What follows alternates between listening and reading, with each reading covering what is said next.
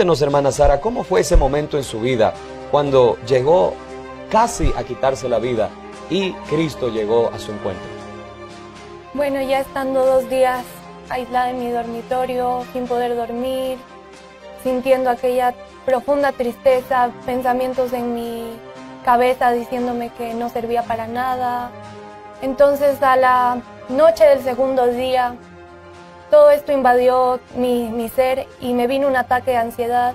Como decía el pastor, se juntó la ansiedad y la depresión en mí y eso fue terrible porque empecé a llorar de una manera que nunca lo había hecho, me sentía muy desesperada, sentía que, que no quería seguir más con mi vida, dije hasta aquí quiero llegar con mi vida, quiero aunque sea irme al hospital o, o aunque sea por un momento dejar de, de existir. Entonces yo empecé a querer hacerme daño y empecé, recuerdo, a golpear mi, mi cabeza contra la pared, queriendo hacerme daño, tal vez pensando desmayarme o hacerme alguna herida, pero eso no me dio solución y en mi mente seguían pensamientos diciéndome, quítate la vida, quítate la vida. Entonces yo en ese momento estaba encerrada en mi dormitorio y salí de mi cuarto. En mi mente venía pastillas, eh, cualquier otro instrumento que me pueda hacer daño. Cuando encontré un tóxico que estaba en la lavandería y me lo tomé, un poco más de la mitad me lo tomé. Y en ese momento cuando me tomé ese tóxico, empezó a venir un, un dolor demasiado fuerte a mi estómago y caí al piso. Caí al piso y en ese momento todo a mi alrededor se hizo oscuro. Todo a mi alrededor estaba yo en tinieblas y sabía que esa era la muerte. Entonces en ese momento eso empezó a acercarse a mí y yo entendí que la muerte estaba viniendo por mi alma. En ese momento, al ya tocar aquel fondo, porque, porque me venían pensamientos cuando tuve la oportunidad de arrepentirme antes, cuando el Señor me habló por medio de un pastor, por medio de, de tantos hermanos en la iglesia, por medio de mis padres, por medio de mi hermano, y yo no me quise arrepentir. Y en ese momento yo le pedí solamente misericordia al Señor y le dije, Señor, perdóname, no dejes que me muera. Dije así, Señor, perdóname, por favor no permitas que me muera, no quiero morirme, porque entendí que existía un cielo y un infierno. En ese momento que yo, aquella oscuridad que yo veía que se acercaba a mí, yo solo cerré los ojos esperando a que algo me pasara. Y al pedir yo misericordia al Señor, ahora entiendo que mi corazón en ese momento se doblegó por completo a Dios. Y Dios tuvo misericordia de mí en esa hora. Con mi madre yo conversaba y ella me decía, yo soñaba que tú ibas a morir. Yo soñaba que tú te quitabas la vida. Entonces estoy muy segura de que ese día solamente por la misericordia del Señor fue que no morí. Y después de esto ya me subí a mi dormitorio y en ese momento al estar con ese temor, hice la oración de fe ya en mi dormitorio y le dije a Dios que me perdone de todos mis pecados, que me lave con su sangre preciosa, que si Él me da otra oportunidad yo le voy a servir, si Él me da otra oportunidad yo voy a dejar todo aquello que Él ya me había dicho que deje. Ahora lo voy a hacer. Yo le decía al Señor que me perdonara y que me dé una nueva vida y que si Él me amaba, si Él en realidad era aquel Dios tan grande que hace milagros, me quitara aquella tristeza que tenía en mi corazón.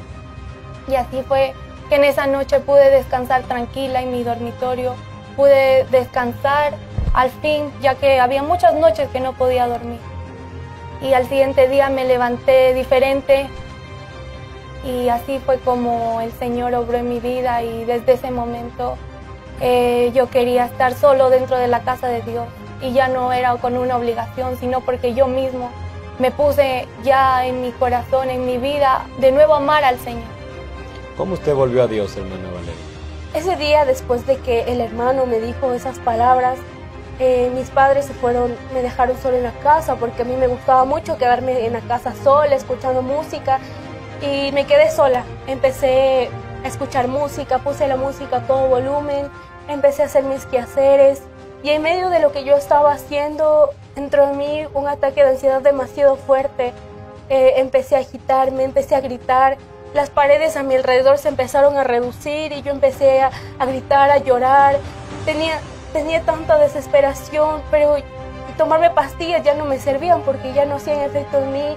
Y yo, yo decía, ¿qué hago? ¿Qué hago? Y, empecé a pegarme la, pared, la, la, cabeza contra la pared, empecé a jalarme el cabello, me tiré al suelo y empecé a gritar.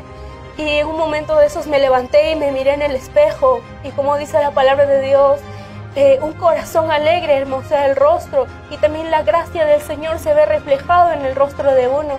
Pero como yo no tenía a Dios en mi vida, mi rostro era un rostro apagado, era un rostro aún, un rostro sin vida, sin gracia. Y me puse a llorar y dije, ¿qué he hecho con mi vida? Ese momento, en la música que estaba sonando muy fuerte en mi casa, se cambió a una alabanza. Vagando en soledad. Que se llama Vagando en soledad y apenas empecé a escuchar la letra, eh, yo caí de rodillas y le dije, Dios, yo he escuchado tantas veces tantos testimonios de que tú les cambias, de que tú haces algo con las vidas de las personas. Y si eso de verdad es cierto, entonces hoy te prometo, Señor, que si hoy me quitas esta ansiedad, si hoy me sacas la ansiedad de mi vida, yo te voy a servir de verdad. Y caí al suelo llorando, clamando a Dios que, que, me ayude porque estaba cansada de la vida que estaba llevando. Eh, en ese momento en el que yo oraba y clamaba, yo veía arriba en el cielo una lucha espiritual. Yo sé que ahí Dios estaba peleando por mi vida. Y en ese mismo momento también pasó por mí un cassette de mi niñez cuando yo servía a Dios. Y me, recuerdo que cuando dice la palabra de Dios, mi embrión vieron tus ojos, porque aún Dios antes de nacer ya nos había escogido.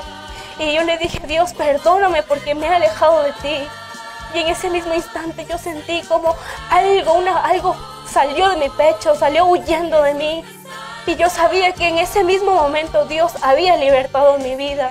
Y desde ese día yo le agradezco mucho a Dios porque Dios ha hecho grandes cosas con mi vida desde ese día. Tanto la hermana Sara como la hermana Valeria estaban en el pozo de la desesperación, en aquel lodo cenagoso. Pero Cristo llegó a su encuentro. Cristo Jesús llegó a alcanzarles para salvarles, para libertarles. Él es el único que puede ayudarte, amado amigo, amiga. El único que puede sacarte de la depresión, de la ansiedad. Él es el médico de médicos. Él es el más grande que puede estar en tu corazón. Solamente es Dios. No puede, gloria al nombre del Señor, alguien que no tiene a Dios ser feliz. No puede. Alguien que no tiene a Dios tener paz. Jesús dijo, mi pasos dejo, mi pasos doy. Yo no os la doy como el mundo la da. Dios nos da una paz verdadera, una paz genuina.